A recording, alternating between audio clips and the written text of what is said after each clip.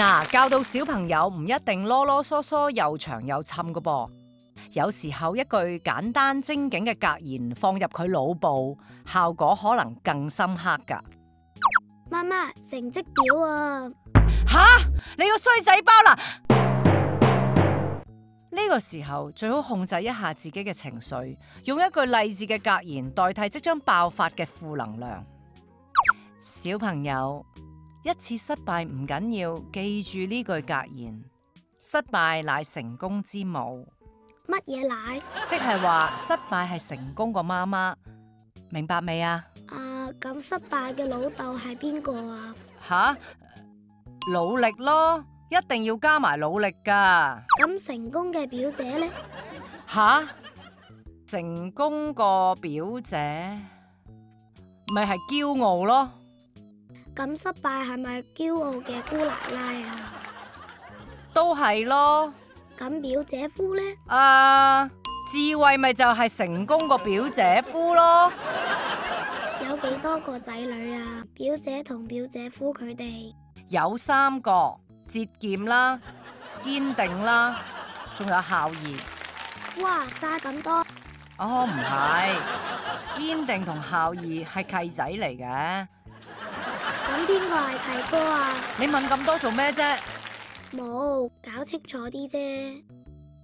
咁即系失败个契表儿系骄傲啊？系啊。原来真系咁。咁智慧个扣松公咧？系好烦啊。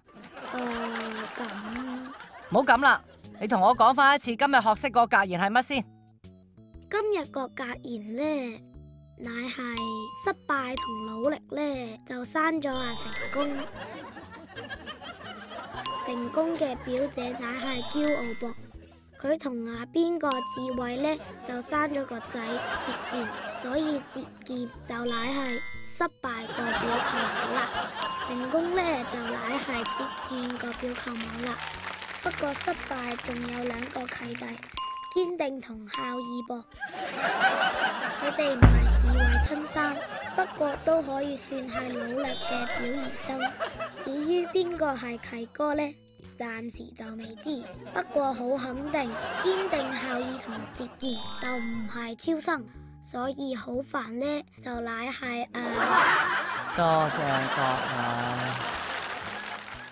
位。麦太搞咗间电视台。落雨啦，好收。